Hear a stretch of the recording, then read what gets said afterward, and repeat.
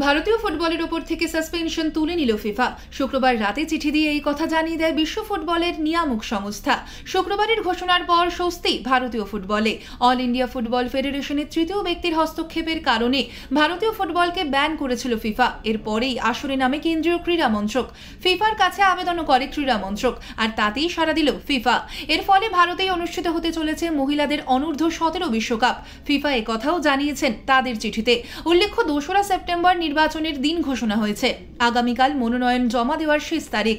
এখনও পর্যন্ত যা খবর, তাতে ভারতের দুই প্রাক্তন ফুটবলার বাইচুং ভুটিয়া এবং কল্যাণ চৌবে সভাপতি পদে প্রতিদ্বন্দ্বিতা করতে চলেছেন।